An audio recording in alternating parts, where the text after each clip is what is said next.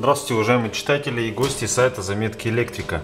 Сегодня я хочу э, показать вам один из способов соединения э, счетчика электрической энергии э, через испытательную коробку KIP. Дело в том, что на практике встречается несколько схем подключения данной коробки. И мне в комментариях постоянно задают вопросы. А почему вот в этой коробке так подключено, в этой коробке так подключено? И вот как бы я вам показываю сейчас одну из схем, один из вариантов э, подключения испытательной коробки.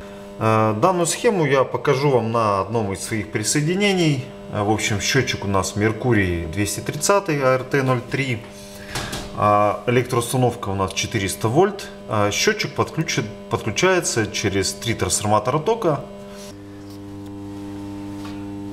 В общем, вот это присоединение. Вводной рубильник или разъединитель. Здесь у нас трансформаторы тока.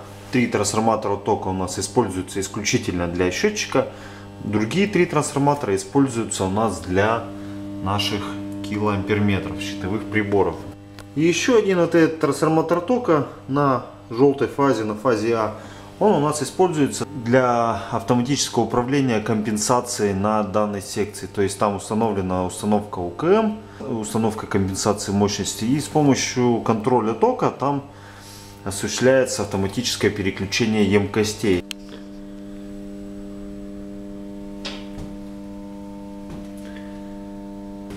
Это у нас сам контроллер, который отслеживает э, ток нагрузки на вводе и уже управляет ступенями конденсаторов.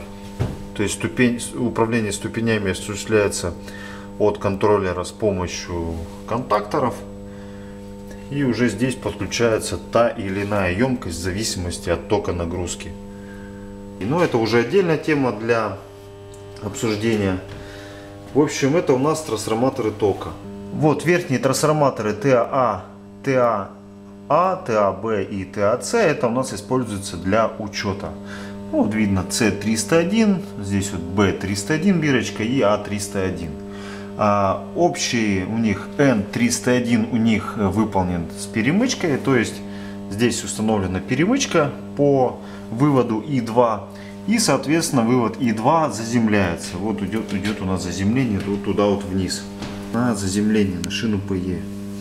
Так вот, 4 э, провода А301, Б301, С301 и Н301 уходят у нас на с трансформаторов тока, уходят у нас на нашу коробку КИП. Вот они у нас приходят А301, Б301, С301 и Н301. И здесь что? А301 уходит на начало фазы А, Б301 на начало фазы Б, С301 на начало фазы С. Дальше между концами всех трех фаз у нас сделаны перемычки. Видите, раз, два. И сюда же приходит у нас N301, то есть общий провод с трансформаторов тока. N301.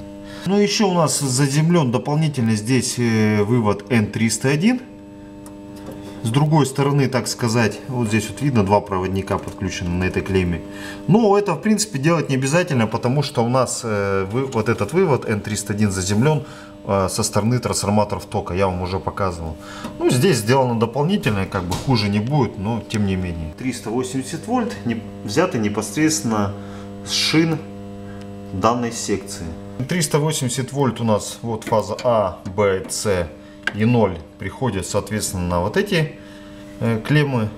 Э, здесь установлены у нас перемычки, чтобы разрывать цепи напряжения. Ну а далее здесь А, Б, А1, Б1, С1 и N, то есть по цепи напряжения, вот они у нас уходят, соответственно, на клеммы 10, 12 и 14. А N у нас уходит на последнюю общую клемму нуля. То есть вот она, вот эта N уходит сюда. То есть вот еще раз. А, Б, С и 0 у нас приходят на, на соответствующие клеммы испытательной коробки, цепи напряжения. Вот. И вот у нас приходит А301, Б301, С301 и общий Н301 на вот эту часть коробки. Вот уже у нас сверху отходящие проводники на сам счетчик. А вот у нас схема непосредственно подключения счетчика. А301 приходит на начало фазы А, Б301 на начало фазы Б, С301 на начало фазы С. Э, на концах всех трех элементов счетчика мы делаем перемычку и сюда заводим N301. Все, токовые цепи у нас подключились. Ну и соответственно фазу А мы заводим на 10 клемму, фазу Б на 12 и фазу С на 14 клемму. N нолик и заводим на клемму 7. Ну она у нас общая 7-8, это общая клемма счетчика. Вот в принципе и все. Как пользоваться данным, данной коробкой? Ну по цепям напряжения тут все понятно. То есть разрываем, делаем разрыв э, по этим перемычкам и готово. То есть мы разорвали 380 вольт на наш счетчик. Как нам быть с токовыми цепями? Все вы знаете, что режим работы трансформаторов тока является КЗ режим. То есть разрывать вторичную обмотку трансформатора тока строго-настрого запрещено.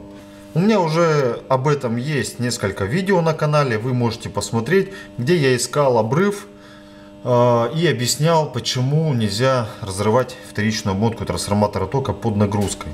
В общем, что нам в итоге здесь можно сделать?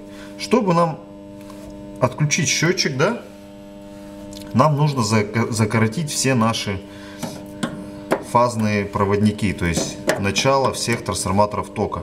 То есть мы делаем что? Мы сюда, сюда и сюда вворачиваем винты. Вот здесь вот видно вот эти отверстия.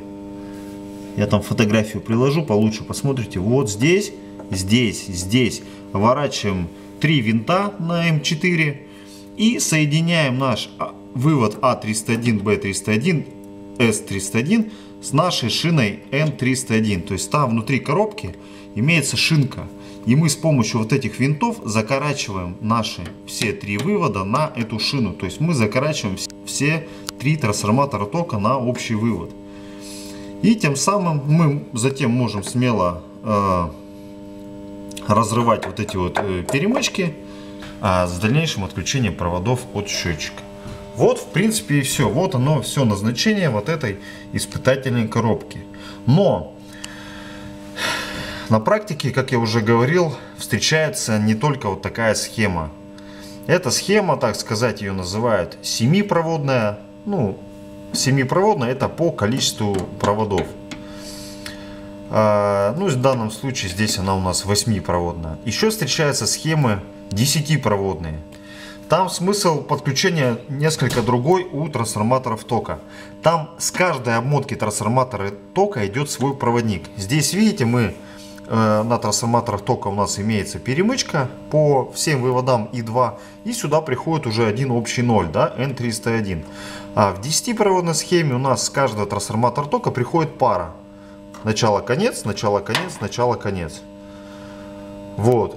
И там подключение коробки осуществляется несколько по-другому. Если там также завести начало и конец вот, и оставить под, подключенным должным образом, то у нас учета никакого не будет, потому что мы закоротим данными перемычками наши токовые цепи. Сейчас я вдаваться в подробности не буду, а про другую схему лучше расскажу э, в отдельное видео.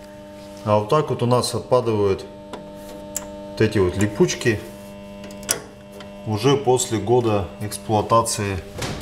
Ну, подстанция, конечно, достаточно холодная. Ну, вот все эти липучки, они отваливаются.